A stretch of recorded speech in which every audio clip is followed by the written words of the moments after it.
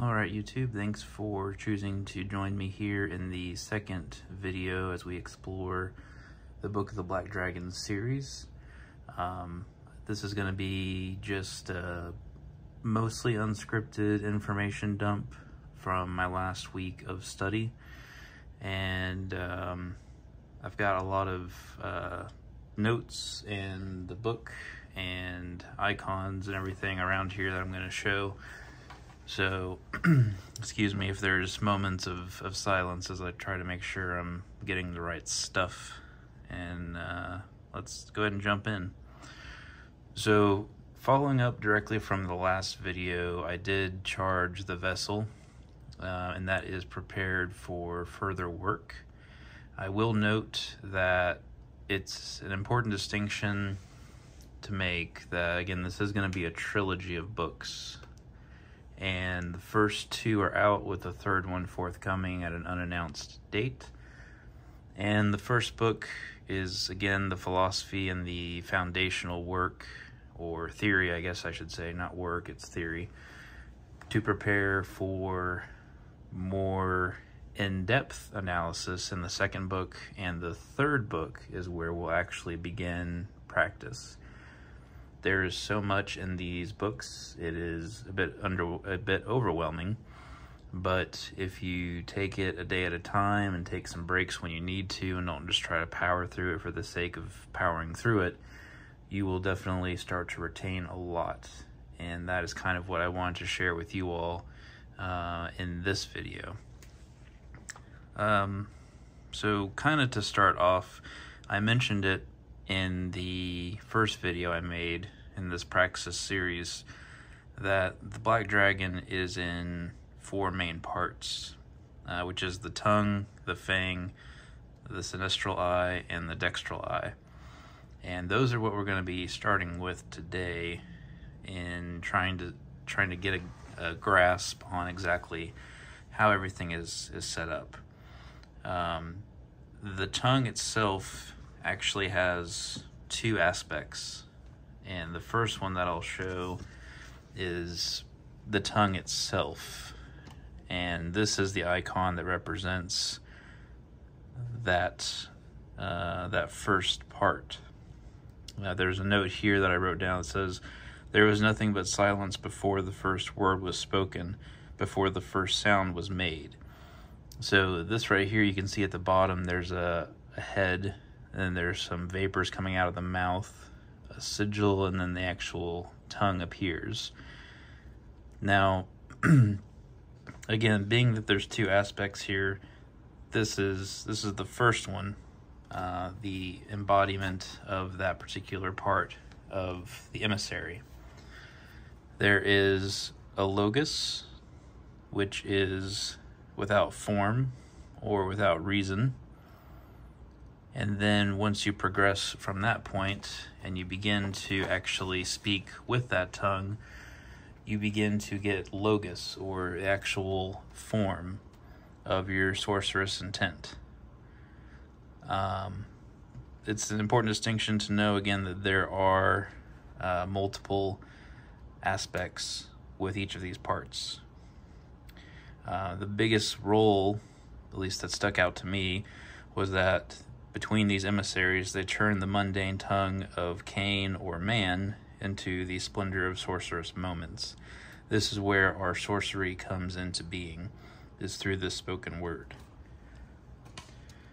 The second part that we're going to look at is the fang of the black dragon. Uh, the fang also is the key, the dagger, and the transgressive intent of our sorcerous actions.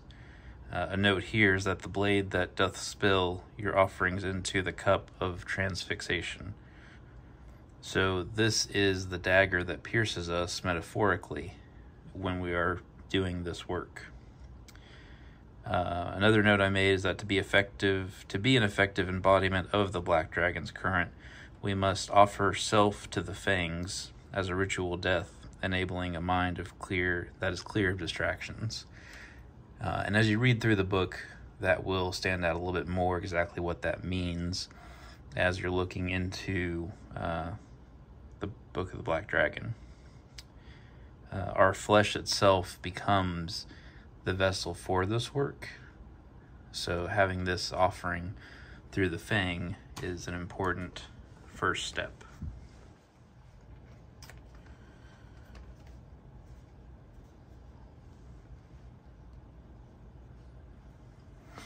Now we move from there to the sinistral eye. And you can see here this this icon card represents an eye that is seeing through um, the left side. It is seeing through the night of being. Uh, this emissary facilitates the awakening of dream awareness. And this one also has three parts, being the mind, the hand, and the heart and I have icons uh, depicting those as well. This would be the the excuse me. This would be the hand aspect. And then we have the sorry, the first one was the mind. This is the hand. And then the heart of the eye. So just like with the tongue, once you start to speak or you break that silence, it's either going to be without form or with form. And the eye will either reveal the mind, the, the mind, the hand, or the heart. So there are different uses for each of these, which will be revealed in time as you go through the work. There is also a snare that is given. Um, Mine is actually, I don't know if I can find it in the book here real quick while I talk about it. Uh, mine is actually next to my bed. Um, because again, this, this emissary, or this part of the dragon, this eye, is um, what enables, again, that, that dream awareness. So there is a, uh, it's, I guess you could say it's a glyph or a sigil um, I'm probably not going to be able to find it, but, oh, here it is, of course. see if I can show this to you. That on the top right, that's the snare that you would use uh, during your, uh, for me anyway, I use it at night. Um, stays on my bedside table, and I admittedly have problems remembering my dreams most of the night. But putting this snare here within the first week, um, I've started to remember dreams more frequently. And it's a snare not to capture a spirit or anything, but to try to capture what it is you're dreaming uh, or your subconscious. So, uh, about two or three nights ago, I actually had a dream. I don't remember anything else about it, but it was just for a few seconds where there was a, uh, a silhouette of a black dragon uh, a shadow of a dragon, and it had very long uh, horns that curved up once. So for being a shadow, I, I, just remember that part of it, and it was very detailed again for just being a shadow or a silhouette. So um, again, that snare is is used for other reasons. I'm sure as we'll find later on, but initially that's how I've employed it, and it's it's been working well. So once you've got past the first eye, the second eye is the dextral eye. And since the first one was really the, the night side of being, this is the embodiment of an enlightened state, composing meaning for what was seen within your dream state. So the first eye receives it, and this eye here, the dextral eye, works to find meaning almost like a translator of sorts. The two eyes working together to make sense of what has been perceived.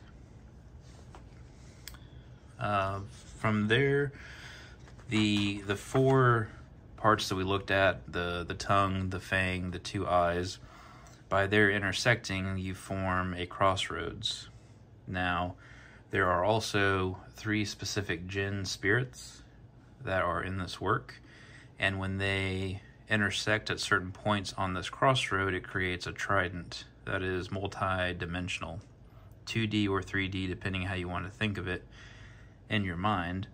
Uh, that is almost the, or I would say it is the foundation for your further workings.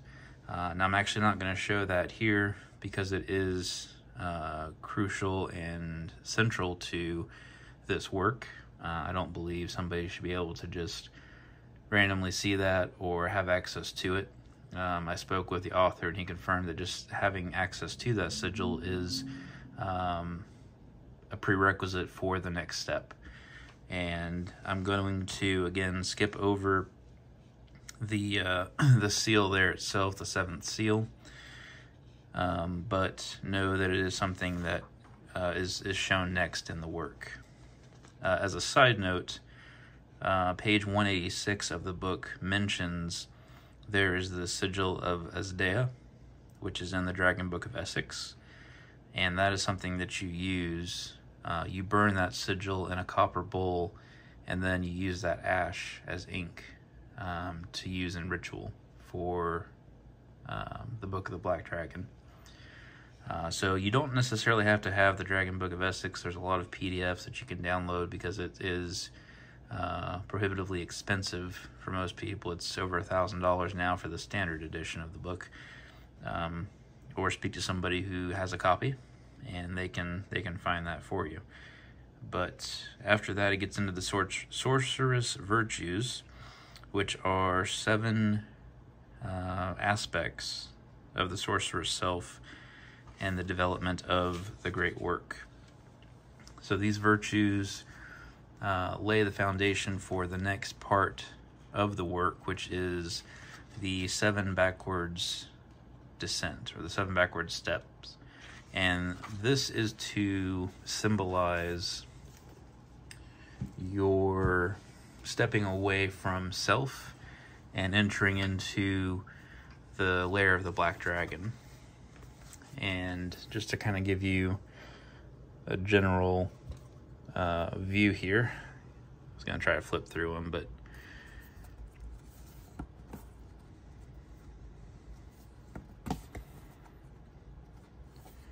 and there is some uh, some text at the bottom here. Talks about each point. And then you get back to your your last point there. So again you're stepping back through everything to get to the lair of the black dragon and at that point you can actually uh, start to receive some of the knowledge from this this entity. Um, now, again, the the structure of the books.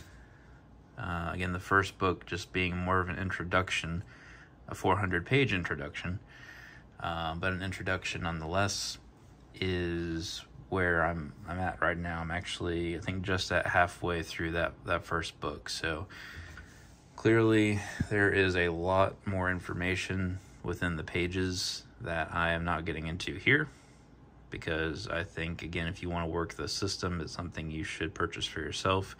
It is not something that can be taught in a few videos or even probably hundreds of videos because each person is going to perceive the information a little bit differently. But um, that is probably going to be it for right now. Uh, again, I just got those icon cards in the other day, so the pictures and everything are in the book as you're going through it. There's also a, a uh, sigil for each one that is uh, a full card itself, so you can you can see that and use it in your uh, your practice. But um, as always, let me know if you have any questions. Um, I'm not sure when the next video will be. Uh, just kind of depends on how quickly I can get through the other content uh, of the book, the last half, and see if we can break it into a, or present it in a way that's a little bit more digestible, kind of like these first two. Uh, but again, as always, thanks for watching, and I'll see you in the next video.